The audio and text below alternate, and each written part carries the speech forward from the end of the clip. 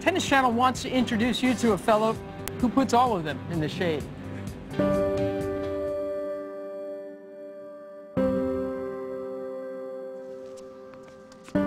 For some, tennis is just a sport. But to others, it's a metaphor for life. Nobody understands this better than Roger Crawford. When I was born, uh, certainly my parents were, were really devastated by the news of the fact that their firstborn son had a physical challenge. In fact, the doctors told them that they didn't believe I'd be able to walk and I would have great difficulty actually taking care of myself on a day-to-day basis. The medical term is called ectrodactyly. It basically affects me from the elbows down and from the knees down.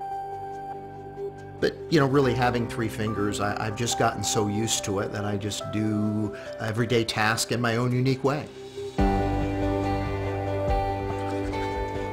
My parents' attitude from the very beginning was no excuses. In fact, I can remember my father telling me over and over again, you don't live in Pity City. Take your hands out of your pockets, put a smile on your face, be proud of who you are. They helped me understand at a young age that it was my choice whether I was going to be disabled. It, it was my choice if I was going to, to feel sorry for myself. I became interested in a lot of different kinds of sports. I didn't want to be, you know, that person that had a, a disability. You know, I, I wanted to be like everybody else. tennis changed my life. That's not an overstatement. At 12, 13 years of age, I was a pretty shy kid, and tennis was a sport I could play by myself. Backboard became like my best friend. He was there about four, five hours every day by himself. And one day, he was getting a drink out of the fountain, and about five or six kids showed up. They asked him, what happened to your hands? Where's your leg? And instantly, Roger just jumped right in and he said, oh, it was terrible. We were on a boat, my dad and I, and it tipped over, and the alligator got me. And I said, this kid's remarkable. He said, hey, I think it's great that you're playing tennis, and if I can ever help you, you know, I'm always available. And I was like, wow. When I was teaching him, it was very difficult in the beginning. How was I going to hold on to the racket? People often ask me, Roger, how do you hold on to the tennis racket? Well, I've carved out a space in this piece of wood that allows me to place my right finger in between that space, which holds it secure. So on my forehand, for example, I hold the racket against my right elbow with my left hand. I change the racket face by rolling the grip against my right elbow. So if I'm hitting my forehand or my backhand, same thing. Tony just spent hours with me, and, and you know, he never said that something wasn't possible.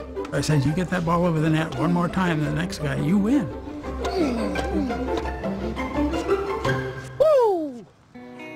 Every available hour I had in the day, I was playing tennis.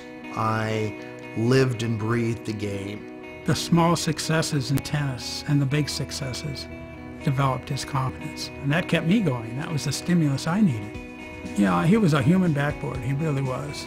And Roger's win-loss record in four years of high school of varsity tennis was 46 wins and seven losses. After high school, Roger attended Loyola Marymount University where the NCAA eventually honored him as the first person with a four-limb physical challenge to compete in a Division I sport. I believe that Roger is inspirational. He brings uh, a clarity to all the individuals that he meets in regards to what you're capable of doing. After finishing his college tennis career with a 22 and 11 record, Roger eventually found his calling in life as a motivational speaker as you look at my life experience, you can see the challenges that I faced, but I may not be able to see yours. It was that experience on the tennis court that really changed how I saw myself. I learned that other areas of my life that I might have thought were impossible now would be possible. I didn't, of course, win every match, but when I walked out on the tennis court and I struck the first ball, I already won. That's how I felt. And now I'd like to introduce you to my all-time favorite tennis player, Roger Crawford. That, Thank you, man. Your story is so remarkable. The first, I watched it for the first time this morning, and I wept uncontrollably. Oh, thank Just you. one. I, I, I have to start by asking you, didn't you ever feel sorry for yourself? Well, sure. I mean, uh, sure, there were times that I was discouraged, but I think growing up with the philosophy that everybody's got challenges, Mary, and they just come in different forms. So I really didn't feel disadvantaged, if you will.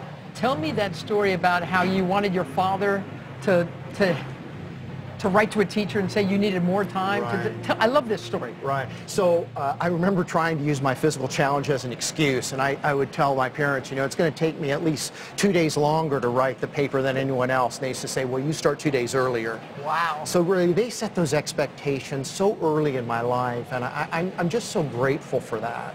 When the, when the kids would ask you what happened to your hands, your feet, it probably was, you probably had different stories.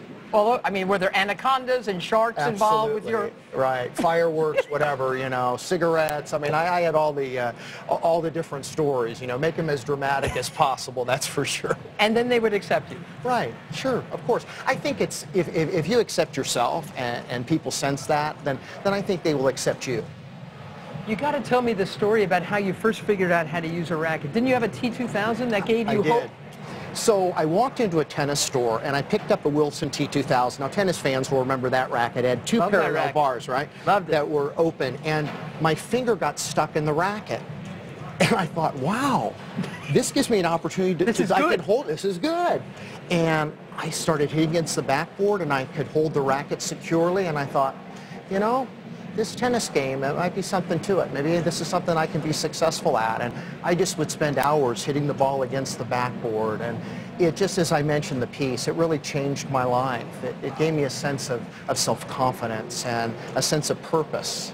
But uh, and we want to show that racket again because it is. Right. So you cooked this up, huh?